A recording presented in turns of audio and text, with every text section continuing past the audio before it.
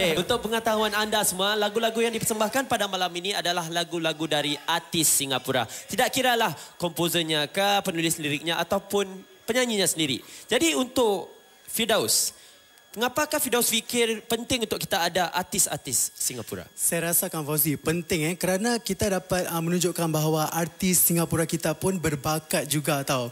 Uh, dan uh, lagu-lagu mereka ni membuatkan kita lebih bersemangat. Uh. Oh bagus sekali jawapan ini. Eh. Semangat sekali. Okey, setelah bersama dalam pertandingan selama lima minggu lamanya, apakah yang anda kenali tentang peserta kita yang seterusnya ni? Ace. Ace Fauzi, hmm.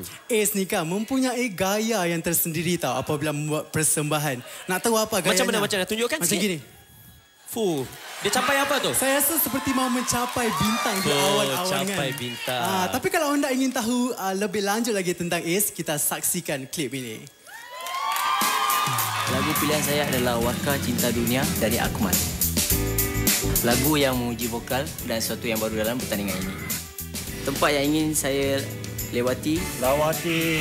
Tempat yang ingin saya lawati adalah Sentosa kerana saya ingin bersantai di tepi pantai. Hai, saya Ace. Undilah saya peserta kod 2. Okey, jadi apakah lagu pilihan Ace, Firdaus? Lagu pilihan Ace ni pernah memenangi projek rentak pada tahun 2009. Oh? Ah, dengan lagu yang digubah dan dinyanyikan oleh Akmal N, Warka Cinta Dunia. Terimalah, Ace!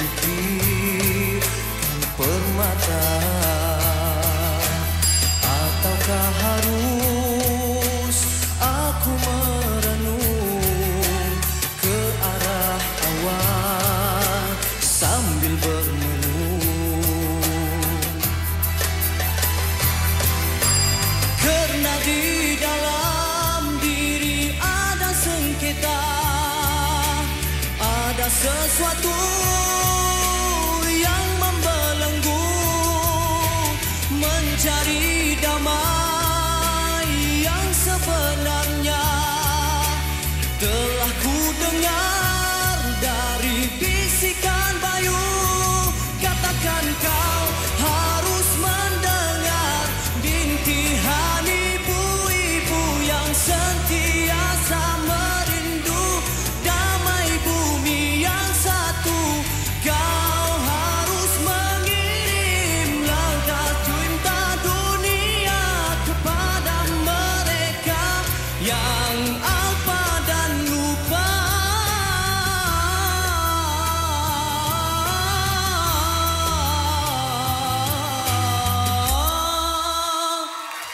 Terima kasih.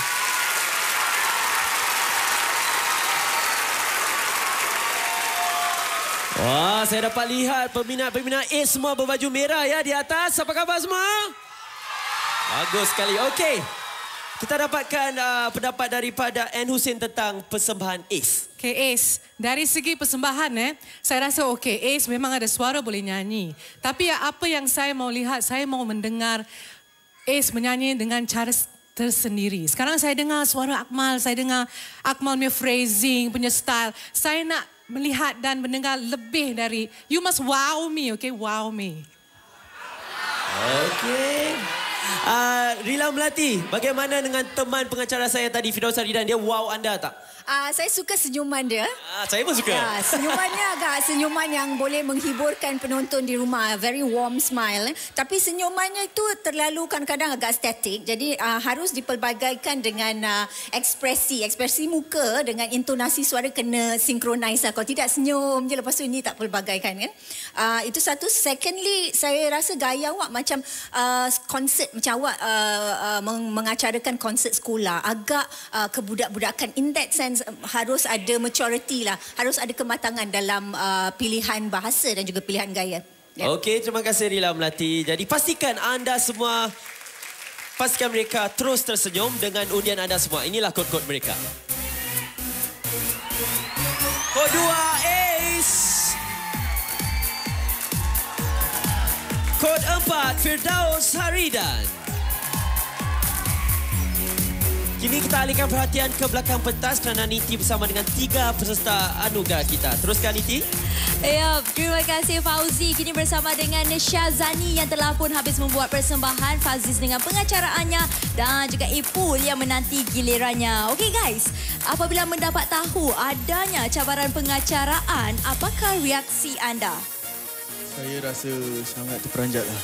Kenapa terperanjat ni Syazani? Sebab saya tak pernah mengacara. Ha, adakah ia susah untuk anda ni?